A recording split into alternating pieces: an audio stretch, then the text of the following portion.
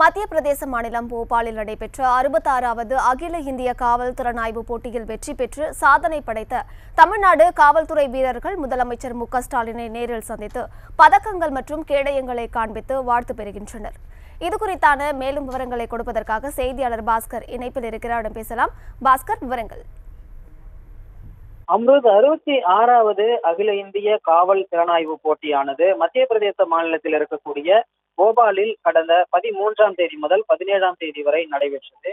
இந்த திறனாய்வு போட்டிகளில் அறிவியல் சார்ந்த புலன் விசாரணை திறன் போட்டி கணினி திறன் போட்டி வெடிகுண்டு தடுப்பு திறன் போட்டி மோப்பநாய் திறன் போட்டி வீடியோ படம் மற்றும் திறன் போட்டி மற்றும் தொழில் ரீதியாக புகைப்படம் எடுக்கும் திறன் போட்டி ஆகிய போட்டிகளில் தமிழ்நாடு காவல்துறையிலிருந்து கிட்டத்தட்ட எழுபது பேர் கலந்து கொண்டனர்.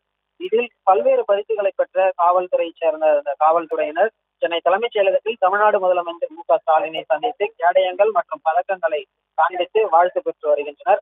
அதே போல தொழிலாளர் நலன் மற்றும் திறன் மேம்பாட்டுத்துறை சார்பில் தயாரிக்கப்பட்டிருக்கக்கூடிய கொத்தடிமை தொழிலாளர் முறை ஒழித்தல் தமிழ்நாடு அரசின் சீரிய முயற்சிகள் மற்றும் குழந்தை தொழிலாளர் முறை அகற்றுதல் தமிழ்நாடு அரசின் சீரிய முயற்சிகளாகிய தமிழ் மற்றும் ஆங்கில புத்தகங்களையும் தமிழ்நாடு முதலமைச்சர் மு க ஸ்டாலின் வெளியிட்டு வருகிறார்.